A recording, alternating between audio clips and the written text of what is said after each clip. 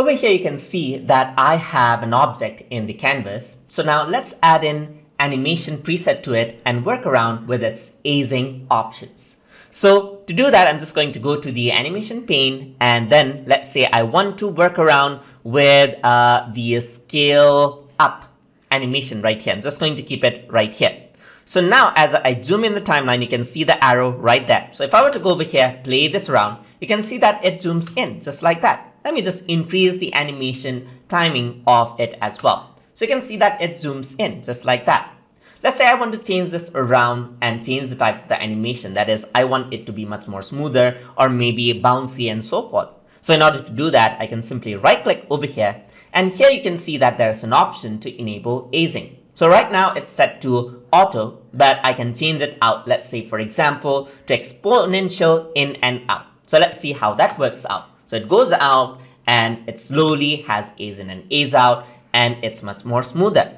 I can go around, change it to linear, and let's see how that looks like. It just zooms in right there, and it just stops. So let me just make the animation faster and see how that looks like. It just zooms and stops. There's no easing in and easing out. But if I were to go over here into exponential, you can see that it is much more smoother. You can also go around and choose spring. So let's see how that looks like. It just springs out as you can see and just pops into place.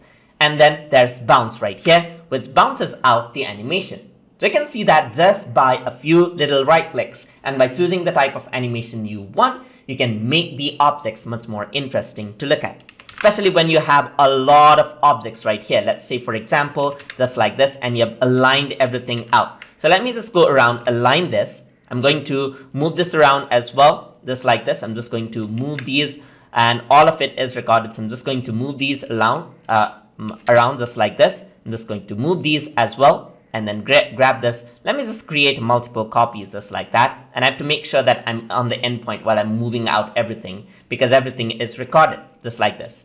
And now I'm just going to grab this, copy and paste this around as well, move everything around, maybe at the top just like this, and then move everything around over here, grab it onto the left and move everything down.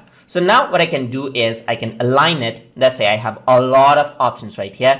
I can align it just like that so that it'll pop up onto the place just like that as time goes by. And you can see that multiple animations will make it much more interesting to look at. So you can see that I've aligned everything out just like this. And if I were to play this out now, you can see that now everything pops up onto place just like that. And it is much more interesting to look at. So just like that, you can see that this is how it works like, as you can see. So that is how you can use easing in animations and then use it to, uh, uh, to make the animations much more interesting on your projects. So hope you guys learned something as always. And as always, please like, comment, share, and subscribe.